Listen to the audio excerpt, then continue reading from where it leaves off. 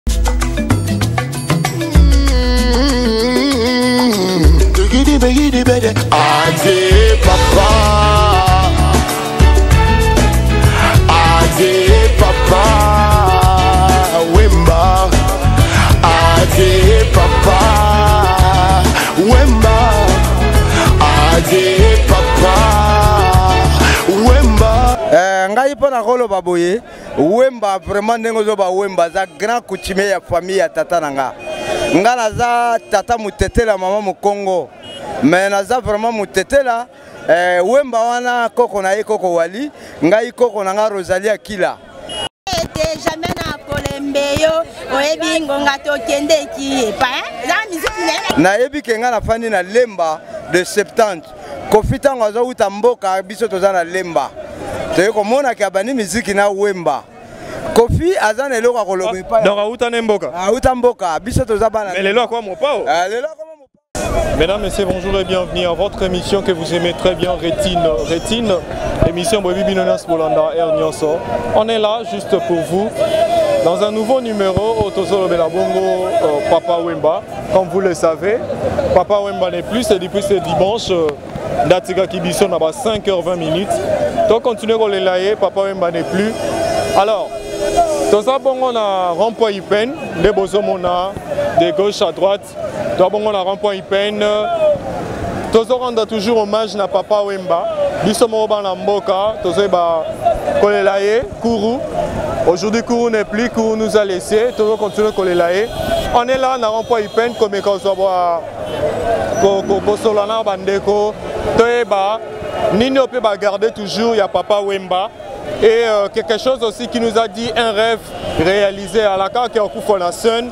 Et les lopes tomoni oka kufi na scène. Alors aujourd'hui on va essayer de faire ça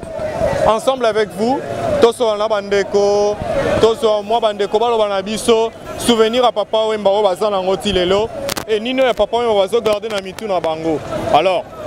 avec vous, on continue à faire notre balade. Prenons déjà notre premier intervenant qui vient déjà Enfin de nous dire euh, bonjour papa. Bonjour. Kombo nani? Euh, Daniel Kindenge. Daniel Kindenge. Papa Daniel Kindenge. bandeko baza na baolanda yo baye bayeba papa daniel euh, souvenir nini ya vieux shungu Bongo papa Wemba lelo aza sute souvenir nini ya papa Wemba oza na oh, omoni souvenir ya papa Wemba tala ozolo bango wana papa wana papa alakisi biso makambo ebele baforme banini kozala na ndenge ya gentil tout ça bo tomona papa Wemba alaki neti rêve mais bandi okoma réalité papa Wemba akufi oyebi na Congo oyo pena grand star parmi ayeba na monde en tout cas toa na souci wana tozozela kaka papaya tokolela mpo toyebi ekoyela mpena festival ya monene mpo otalaka papa en tout cas yango nazalaki en tout cas eza na souci mingi mpo eza regremakasi parce parmi basouvenir ya papa wemba nzembo nini oyo ayo ya ye ebeta yo makasi na motema surtout la vie est belle Bon, la vie est belle ezalaki film mais nzembo nini ya ye ebeta yo bon nzembo ya mama nzembo ya mama oyo ya mama vraiment ndenge ayembela yango ndenge apesela vraiment esala biso joie bon omoni ke azali estce oyebi mpe ndambo ya parti wana ya nzembo ya mama bon ngai vraiment ngai naza chauffeur eh, nayebi mpena mais nayokaka yango nasepelaka makasi mais na kati ya nzembo ya mama malobo etushaki yo eza nini bon ndenge ayembelaki mama donc histoire wana soki olandi yango esalaka en tout cas ça fait du bien et pop dans, dans ma part quoi ah. papa wemba aza lisu te atiki biso yo en tant que melomane en tant que molandi mpena banzembo ya papa wemba conseil nini okopesa na bagénération etikali na banzembo papa wemba abeteli biso na rumba nyonso oyo atikeli biso nini oyo okoki koloba en tout cas vraiment bajeune ya lelo balanda talent ndenge alaki mpenza papa wemba batika makambo ya bapolemike talaka mpe wemba awumeli na makambo ya miziki alakisi biso makambo ebele en tout cas moto nyonso aprofite ayeba ndenge lolenge pa wemba ti carrière ya vie na ye ya musicale na ye ti na ndenge atiki biso na ndenge ase comporte mpo aforme mpe bana ebele bon esengeli sikoyo bajeune ya lelo bamusicien oyo baza pour le moment balandaka meme eh, eh, niveau ye azalaki na bana oyo papa wemba abimisi okoki kotangela biso moko be mibale bon bon ngai vraiment biso mpe tolanda kaka na presse bino moko kaka ndenge bozolakisela biso biso toyeba kaka na bana ebele ndenge toyokaki na presse soki 32 enfants te na bana oyo abimisi na monde ya miziki baza ebele neti baredi ya misi bafanfa de molokai ndenge nayebi bastino mobi baza ebele na bana kotangela oyo na kolemba mpo nayebi tipe wana mais toyokaka mpe ke kofi abima epa na ye oui mais eh, eh, kofi aza ingra omoni ere moko azoboya mais mawa trop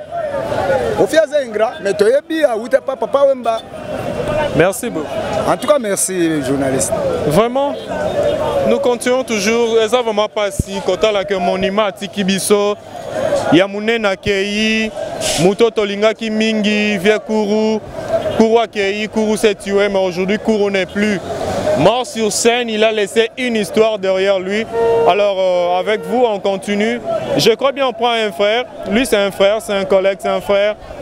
Euh, il va nous expliquer aille, qu'est-ce qu'ils sent. Vraiment, nous. C'est douloureux, on continue notre quête avec euh, Banamboka, Tozo Lelabio, Kourou, Wakei, Papa Wemba, souffrir. Alors je suis là avec un papa, il va se présenter. Je dis euh, directement bonjour papa. Bonjour. Kombo nani bo? Kombo nanga Shokoro, hein. ba bengela nga ya ba bengela koto Shokoro. Vraiment papa Shokoro. Kuru azate kuru atika kibiso banda dimanche. Et ça là qui on deni koyoka nouvelle wana.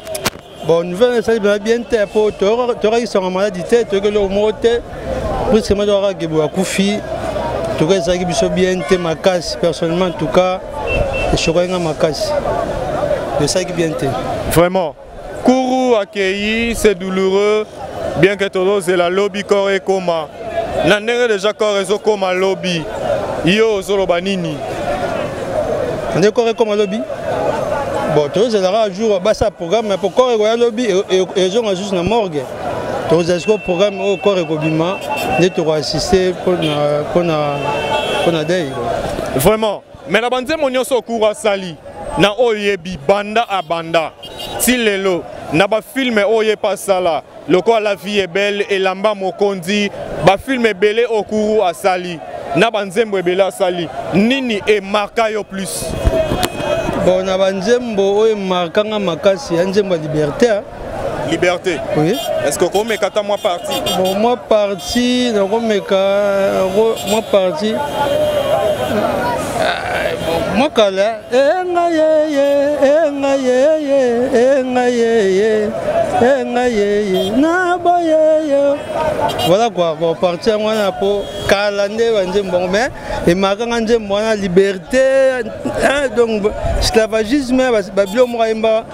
makambo wana donc emarkanga makasi vraiment mais ntango obanda oyoka bamiziki ya papa wemba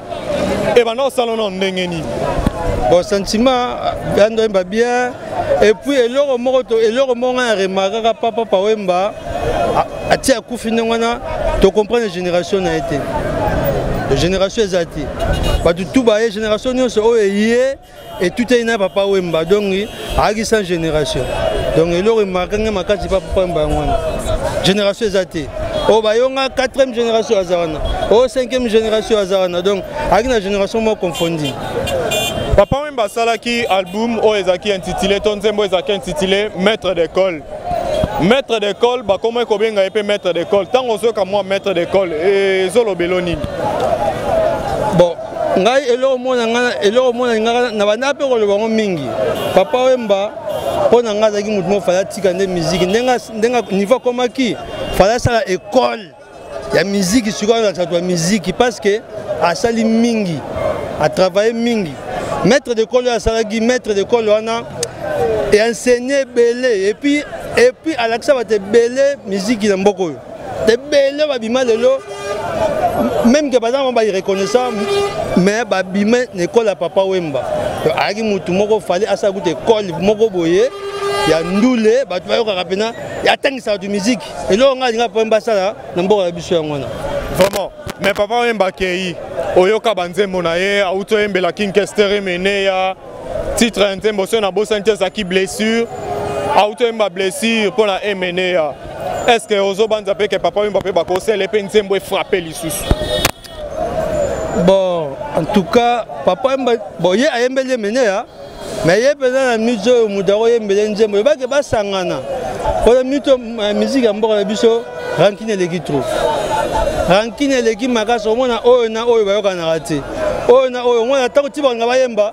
oyo ntango ayebaki ntango mosusu akoyebaki ngai na yo toyokanaka te ntango ayebi ke yo oza na studio mona ngai na boyo nanga koya mpo ngai na yo toyokanaka te donc angi nayeke ebele papa mbasuka yembi ekese parce que esalaki fruit na ye ya viva ntango akufi yango ayembelaki ye bo nandimi te ke musicien moko akofaire face boye problème ya problème baye moko na mboka na biso antuka nandimi yango conseil na mpo na bamisio batikali ekozala nini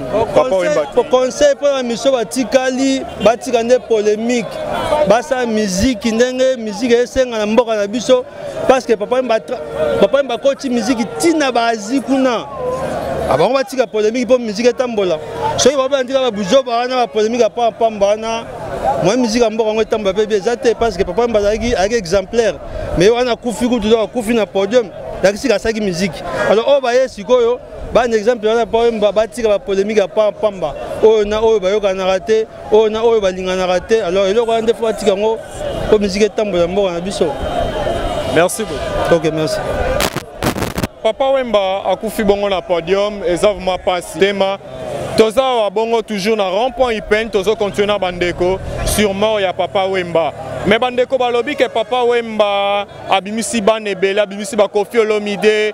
abimisi bongo euh, bato ebele oyo toyebi lokola king kester emene auti otika biso abimisi baredi ya misi vraiment toza na papa tokoluka toyeba papa nkombo nani nkombo na nga falanga lotolalite vraiment papa lotonalite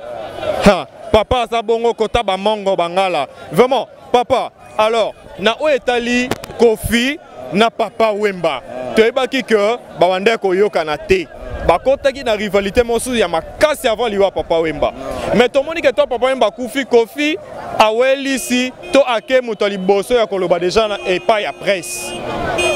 mpo na yo en tant que mwana mboko koloba nini eh, ngai mpo na koloba boye wemba vraiment ndenge ozoba wemba aza grand coutumier ya famille ya tata na nga nga naza tata motetela mama mokongo me naza vraiment motetela eh, wemba wana koko na ye koko wali ngai koko na nga rosali akila nayebi ke nga nafandi na lemba de septante kofi ntango azowuta mboka biso toza na lemba toyei komonaka abandi miziki na wemba kofi aza na eloko ya koloba ah, epai donc awuta ne mboka awuta ah, mboka biso toza bana mais lelo akoma mopao ah, lelo akoma mopao mpe c'est la vie de l'homme mais na wemba wemba aza grand chef aza musicien oyo tokotanga na kati ya congo comme euh, première génération de jeunesse oyo eyebaki miziki na kati ya kisasa moi je suis né en 60 eloko ekobungana na wemba eza te wemba tata leki na nga kofi awuti mboka nayebi mama kofi nayebi famille ya kofi na lemba ntango bazoya ngai nazalaki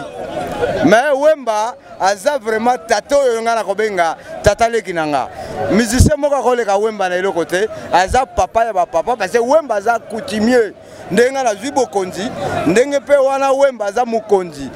il s'agit gouvernement eyebi pouvoir coutumière wemba aza moto akundama na batetela kuna na mboka ne na loja vraiment nde coutumier na biso ya, ya batetela mais sikoyo mpo na organisation bazosala babike corps ezo ya lobi ah. les deux étages je salue euh, la grande maman aujourd'hui ah. la sœur kabibi arrivé na ye merci vraiment olakisi biso ke bolingwana ya la vie ebele eza ah. toujours ah. kabibi auti okoma lelo euh, ndenge ba source ya ba information euti oloba na biso alors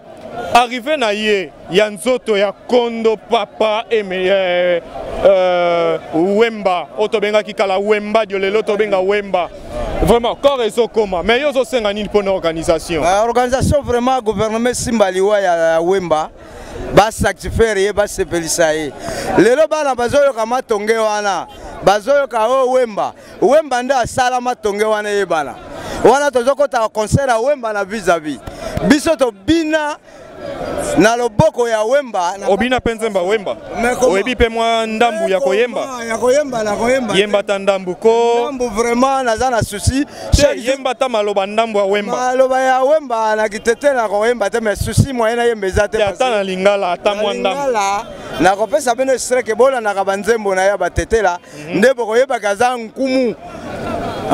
nde bokoyeba experience ya wemba na kati ya mboka oyo bamusicien to bazoloba lelo moto akoloba na wemba aza te wemba bolela ye lokola papa ya bamusicien nyonso na kati ya kongo awa merci beaucoup papa vraiment nasepeli mingi wana vraiment aza ebembe ya koneglige te merci bana kin bana poto bino mo nde bolandi bauta mboka baya kin bawangana bapapa nde bozolanda on ne fasse jamais l'histoire l'histoire restera toujours l'histoire outa mboka outa kin oapprendre bible ezoloba na biso ke élève alekaka jamais maître na ye tozocontinue bongo na bainterview na biso tomeka mpe kozwa mpe bandeko mosusu tozocontinue toujours na bandeko nde na oloba toza na ndeko awa ko se présenter papa kombo nani ah kombo na Jofeli hein vraiment Jofeli aza bongo coopérant ndenge to mona Jofeli souvenir nini na papa wimbo zaki na oza nango bon souvenir na za nango ya ya fela biso le kuru ndenge encouragea biso souvent ba bamelomane na ye kua ke tozala makasi toujours na la vie est belle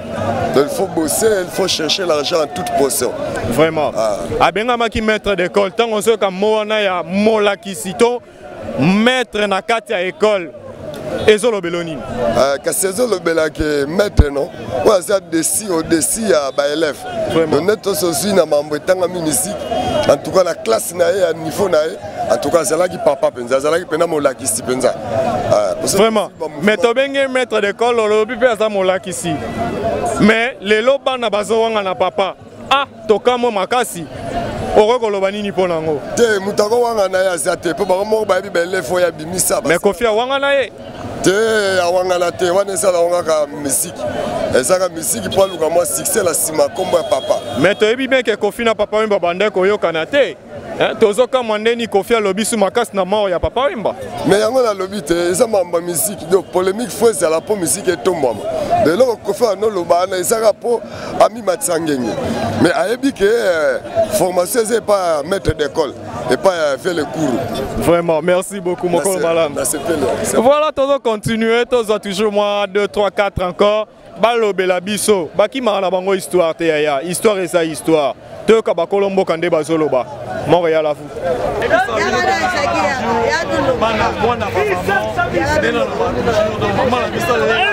parce que mwana ye akoma mwana mama mebele ye toza bona mama akozemana te vraiment mama luza bastaba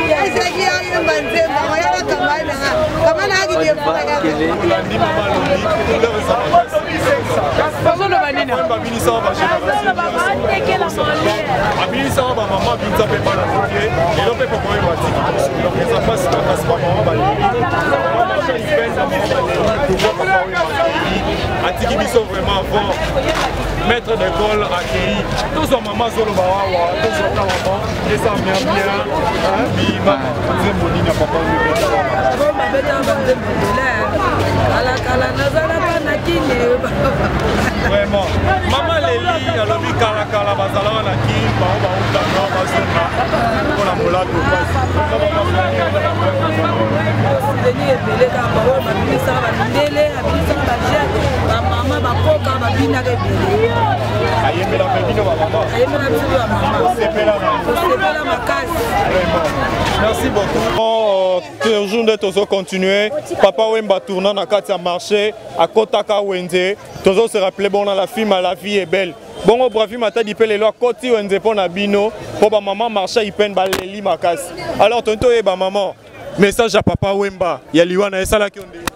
ntango nayokaki liwa ya papa wemba esalaki ngai mpasi makasi puiske naza mama na regretaki mingi mpo aza motu moko tovende na kati ya mboka musicien na biso ya monene azalaki malamu na bato nyonso abandaki kosola ntuka bien vraiment papa wemba akufi bana boni yo papa wemba abimisi na monde ya miziki en tout cas baza ebele nombre na oyeba te me baza ebele ata nkombo ya moko to mibale eh, lokola emenea azalaki mwana na ye kofi azalaki mwana na ye me toyokaka kofi awanganaka ah, awanganaka te wana ezaka makambo ya miziki ezala nayoka mpo bapolemike ezalaka me andimani est ce que eza ta na nzembo moko ya papa wembo oyo oyebi okobetela biso ah. nayebi banzembo ebele lokola basinganga batonganga batikala na soni nzoko alembaka mino na ye te jamai na kolembe yo oyebi ngonga tokendeki epa eza miziki na ye vraiment merci bamama balobi nzoko alembaka minu na ye te nde toyoki donc papa wemba mpe alembaki bana ye te alembaki euh, bandeko nyonso te ya molokai alembaki te bandeko nyonso donc papa wemba acontinuaki toujours kozala papa maître d'école place oyo bana na ye bazali on continue toujours à prendre notre euh, à continuer notre quête on continue montréal tokoba voilà mwana bamama azocontinue toujours na bamama na ye tolela papa wemba musicien monene na mboka na biso mama nkombo na nio mama nkusu clémentine na wenza ipene mama clément na wenza ipene mpasi nini oyo oyokaki ntango oyokike papa wemba ngai nayokaki mpasi ebele mpo na nini ngai nabinaka na miziki na ye ntango nayoki papa wemba akufi esalaki nga mpasi mpenza nayokaki susi mpenza na motema na ngai eza kaka liwa eza nzela biso nyonso akende mpe kopema na ye yango wana yango wana akende kopema na ye eza nzela biso nyonso biso mpe tolanda ye nakende na esengo mingi kasi nayebaki na nzembo na ye nabinaka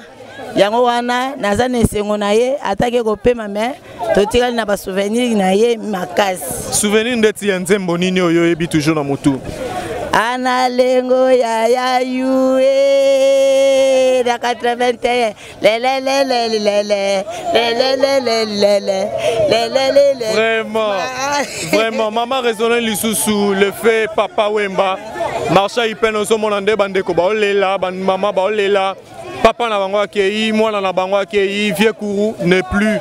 Kourou s'est tué comme avait dit Emoro dans la film La vie est belle. Aujourd'hui Kourou n'est plus mort sur scène.